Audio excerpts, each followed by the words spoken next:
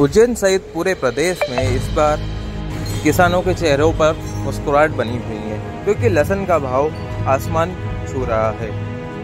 लहसुन की अच्छी पैदावार होने के बावजूद किसानों को एक चिंता भी सता रही है, जिसके लिए ताबड़तोड़ किसान अपने अपने स्तर पर इंतज़ाम कर रहे हैं। जिस तो ये सभी इंतज़ाम सुरक्षा की दृष्टि से देखे जा रहे हैं। सही उज्जैन का एक मामला सामने आया है, जहाँ पर किसान स्वयं डंडा लेके हाथ में अपने लहसन की रखवाली कर रहा है। उसको ये भय सता रहा है, कहीं चोरी तो ना हो जाए।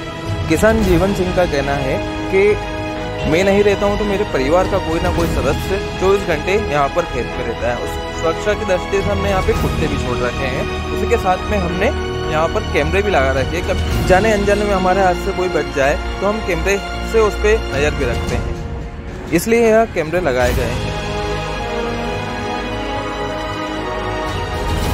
हाँ लहसुन के भाव बढ़े हुए चोरी का भी डर रहता है। इस साल क्या कि लहसुन की चोरी भी हो रही है, ऐसा सुनने में आता है।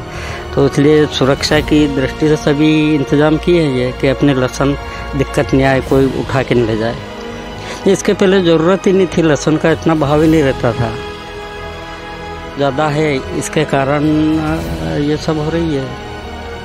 हाँ डंडा वंडा ये लेते, रहते थे यहाँ पे।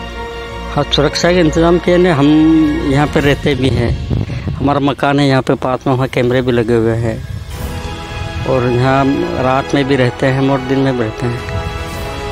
ये दो बी दो बीघे में लहसुन है मेरी है ये लहसुन पैदा ये चालीस से पचास कुंटल अनुमानित। अब इससे कितनी हो जाए और उसके बाद?